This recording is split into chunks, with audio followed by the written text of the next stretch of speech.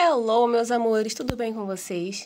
No vídeo de hoje, nós vamos continuar o capítulo 6, indo lá para a página 93. Vamos lá? Aqui na página 93, nós temos duas imagens, a letra A e a letra B. E aqui a gente vai praticar, então, a expressão When I grow up, I want to be.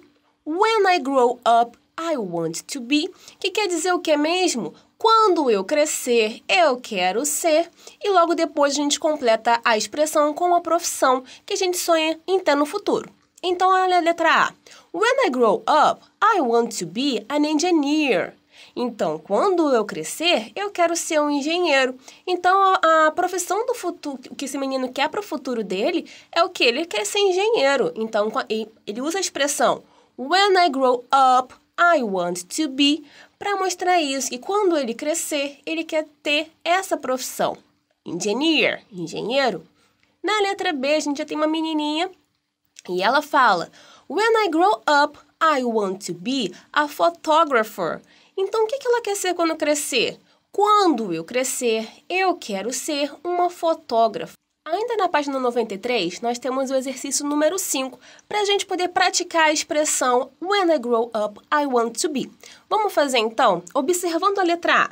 O que a gente tem que fazer aqui? Nós vamos ler as frases dos balões, da letra A, letra B, letra C, letra D, e relacioná-las às imagens que estão aqui abaixo, nos quadradinhos, tá, tá vendo? Então, por exemplo, se a frase da letra A for o segundo quadradinho, a gente vai colocar a letra A dentro desse quadradinho beleza? Então vamos ler cada uma. A letra A primeiro. When I grow up, I want to be a computer programmer. Ele quer ser o que então quando crescer? Qual é a imagem que representa computer programmer? Aí a letra B agora. When I grow up, I want to be an actor. Então qual dessas figuras aí apresenta então essa profissão? Actor. Letra C. When I grow up, I want to be a scientist. Então, qual imagem aí representa a profissão scientist? E a letra D. When I grow up, I want to be a hairdresser. Então, qual dessas imagens aí também representa a, a hairdresser? Hairdresser. E aí, pessoal?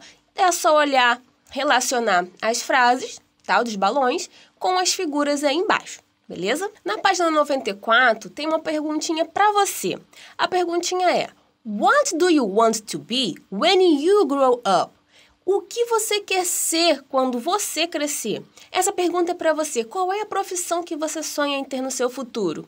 What do you want to be when you grow up? E aí, qual é a profissão que você desejaria ter no futuro? Ainda na página 94, nós temos aí um novo vocabulário nós vamos relacionar algumas profissões com alguns adjetivos.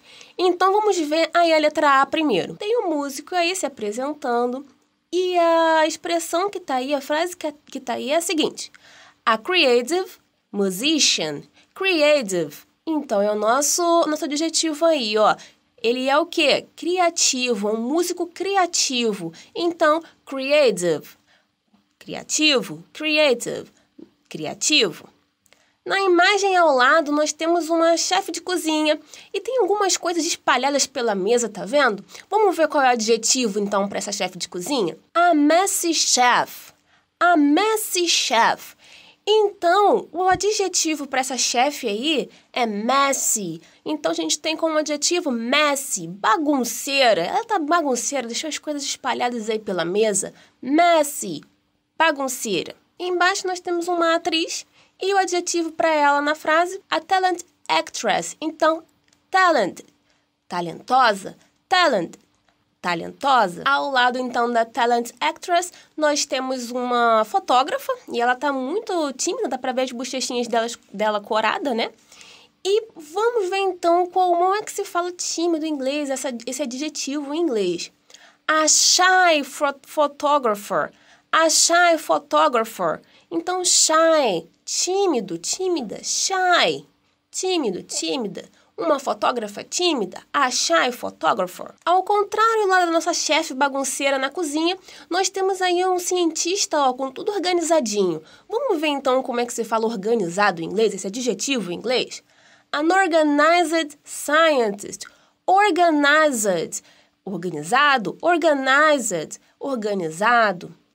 Então, ao lado, nós temos aí um profissional de cabelo, né, um cabeleireiro, falando muito com a sua cliente, falando, falando, não para de falar. Então, ele é um falante.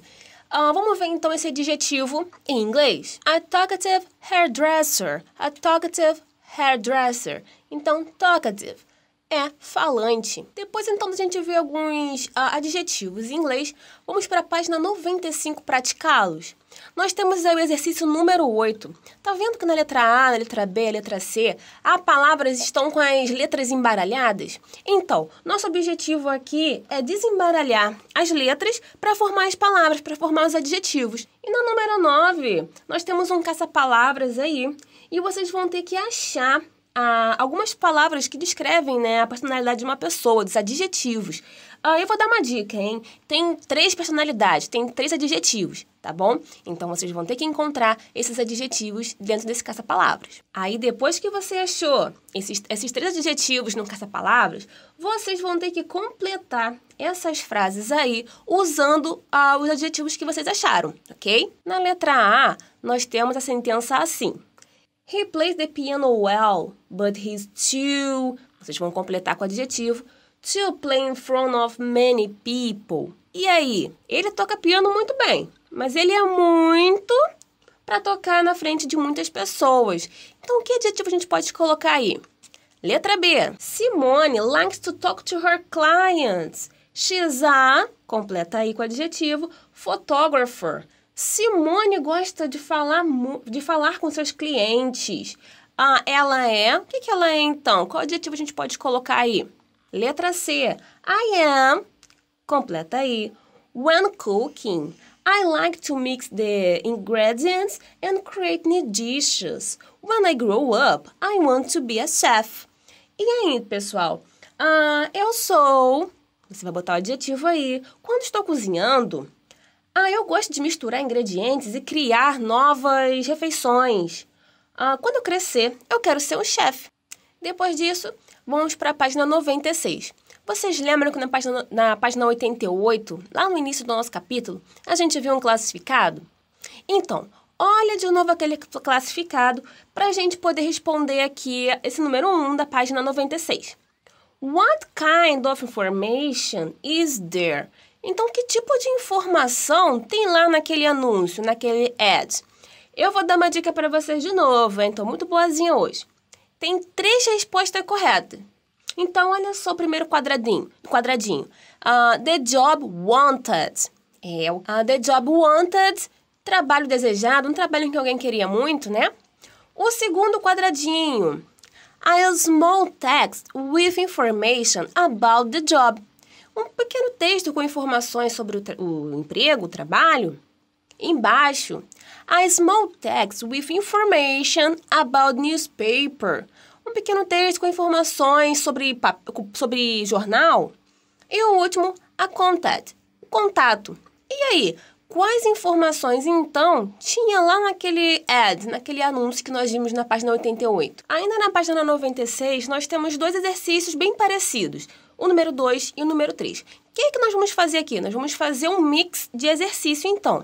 Nós vamos pegar aí uh, as sentenças né, no número 3 e montar no número 2. Tá vendo que no número 2, pessoal, tem um classificado e um espaço em branco no meio? Então, aqui vocês vão ofertar uma vaga de emprego. Vocês vão fazer então um anúncio de emprego, igual da página 88. Então vocês vão fazer o seguinte: colocar o título, olha lá na página 88 como é o título colocar também a vaga que você vai ofertar é para qual área? É secretary? É musician? E aí, escolhe então uma profissão e coloca logo depois do título. E depois vocês podem completar com alguma informação baseada lá na página 88, ok? Aqui eu só quero que vocês pratiquem então esse ad, escolhendo uma profissão, ofertando uma vaga, tá ok? Seria exatamente isso também que vocês fariam na número 3. Por isso que eu peguei as informações da número 3 e joguei para número 2. Fiz um mix nessas duas, uh, nesses dois exercícios, tá bom? Aí depois de fazer então um anúncio ofertando uma vaga de emprego, nós vamos praticar o Time to Listen na página 97. Hoje o Time to Listen será um pouquinho diferente. Porque para cada questão, para número 1, um, a gente tem um textinho e para número 2 e número 3, nós temos outro textinho. Ou seja, eu vou ler dois textos diferentes para a gente fazer uh, esses exercícios. Mas antes de começar a ler o texto para vocês, eu vou explicar o número 1, um, tá bom? Aqui no número 1 um, tem muitas imagens aí de, de, de, profissões, né, de profissionais. Eu vou ler o texto para vocês e vocês vão ter que colocar na ordem em que eu falar no texto, tá? Eu vou ler devagarinho, pausadamente, mas vocês vão ter que colocar na ordem. Ah, por exemplo, a primeira imagem foi a terceira profissão que eu falei, então você vai colocar o número 3 dentro desse quadrado. Assim, entendeu? Colocando o número em ordem mesmo, beleza? Então preste bastante atenção que eu vou ler o textinho para vocês agora, ok? Vamos lá. I act in movies, plays and television. I act in movies, plays and television. I write computer programs. I write computer programs. I cut people hair. I cut people hair. I work in a lab doing a scientific research. I work in a lab doing scientific research. Para número 2, já vai ser um outro texto. Então eu vou ler para vocês e vocês vão ter que circular as opções que completam a frase de acordo com o texto. Na letra A, nós temos aí Andrew is, número 10, número 9, years old. Letra B, his favorite school subject is math English. Letra C. Andrew is. Tem aí os adjetivos. And. Então, dois adjetivos. Vai, vai primeiro circular um, se é organized ou messy. E depois shy ou creative. E letra D. He likes to. Qual é, que ele gosta de fazer? Draw ou paint. Ok? Então, preste bastante atenção para circular as respostas corretas. Vamos lá. My name is Andrew. I am nine years old. My favorite school subject is math. I am organized and creative. I like to draw and to project buildings and houses. When I grow up, I want to be. Aí depois, então, que você circulou as respostas certas aí que você acha que está correto, nós temos o número 3. O número 3 a gente vai precisar saber, então, qual, o que, que o Andrew ele quer ser quando crescer. E aí, de acordo então, com a descrição do texto que eu li para vocês, qual é a profissão que ele quer seguir? E para fechar nosso capítulo, nosso vídeo de hoje, na página 98, nós temos o Let's Talk. Aqui eu quero saber de vocês. Olha só o primeiro balãozinho como tá. What do you want to be when you grow up? Essa pergunta é usada para quando, eu, por exemplo, eu pergunto para você, né? Eu tô aqui em casa perguntando para você, What do you want to be when you grow up? Então eu quero saber o que, que você quer ser quando você crescer. E você me responde, I want to be e a profissão da sua escolha, né? A profissão que você quer ser. I want to be a teacher, como tá aí no exemplo. Então a pergunta que eu uso quando eu quero saber que profissão uma pessoa quer ser no futuro é essa: What do you want to be when you grow up? E a pessoa me responde, I want to be, e logo depois a profissão. No caso aí, a teacher. I want to be a teacher. Então, nós temos um quadrado aí. E a gente vai completar ele. Mas primeiro você vai escrever a sua. Aí você, na primeira coluna, vai colocar o seu nome. E logo depois, a, a pergunta que eu faço para você é: What do you want to be when you grow up? Tá vendo? Tá escrito occupation. É profissão. Então, ao lado você vai colocar a profissão que você deseja ser. E na nossa aula online a gente completa para saber qual, qual é a profissão que nossos amigos de sala eles querem ser quando crescer, tá bom? E por hoje é isso, meus amores. O nosso vídeo então vai ficando por aqui. Até a próxima. Um beijo para vocês e bye bye.